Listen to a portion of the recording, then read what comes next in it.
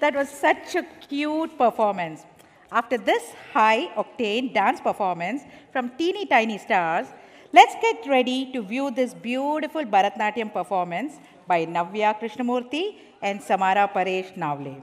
They are students of Kalabharati School of Dance and will be performing to the song Varavina Ridupani.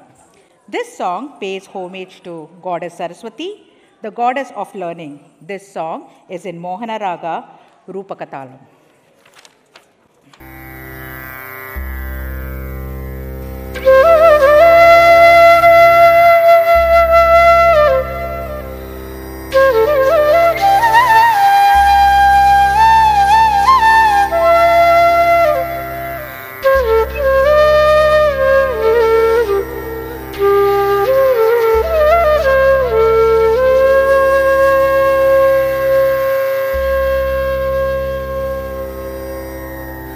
Yeah कुन्देन्दुतुषारहारधवला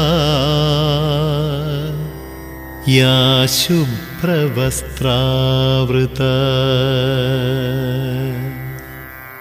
yeah वीणावरदण्डमण्डितकरा yeah श्वेतपद्मासना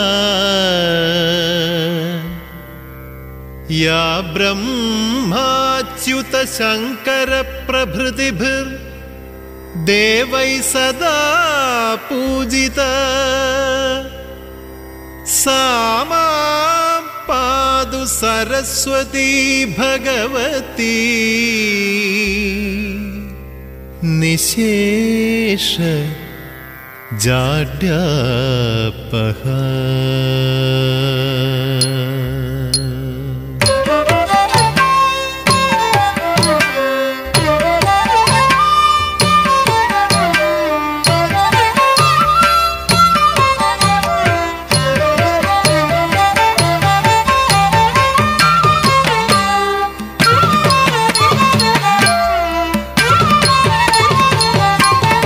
वरवीणा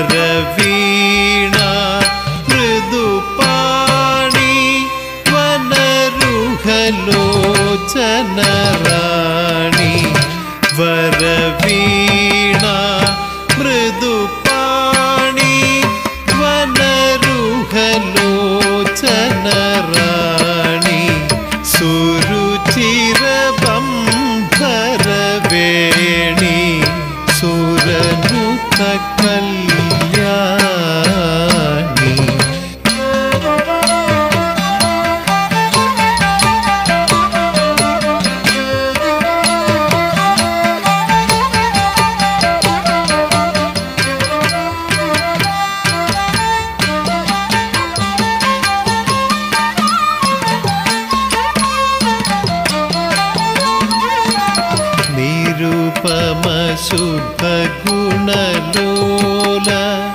निरत Jaya